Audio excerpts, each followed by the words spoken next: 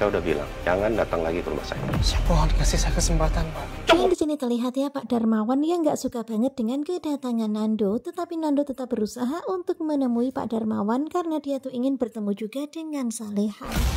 Nando! Nando! Dan kalian bisa lihat ya tangan Nando itu sampai kejepit yang membuat Isabella pun jadi kaget. Begitu juga dengan Saleha juga kaget. Saya tidak akan pernah menyerah, Pak! Kemudian kalian juga bisa melihat bagaimana Nando yang terus berjuang gak menyerah. Dia terus berlari mengejar Pak Darmawan. Saya akan terus berusaha!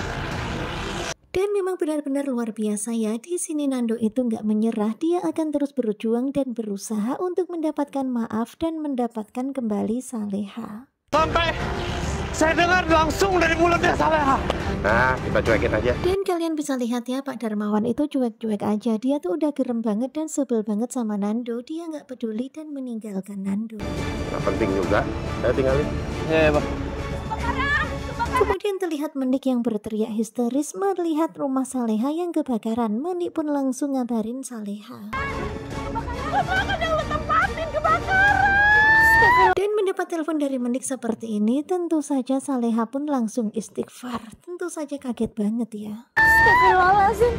Ya Allah. Nah tentunya pasti makin penasaran kan dengan kelanjutan Saleha pada hari ini hari Selasa tanggal 17 September 2024 Nah bagaimanakah kelanjutannya? Sepertinya bakalan semakin seru. Di mana kita melihat Nando yang terus berjuang tanpa menyerah demi untuk bisa mendapatkan maaf dari Pak Darmawan Dan dia tuh mau dengar langsung dari Saleha. Nah tentunya penasaran kan bagaimanakah kelanjutannya? Simak kelanjutannya bersama dengan Siva Family.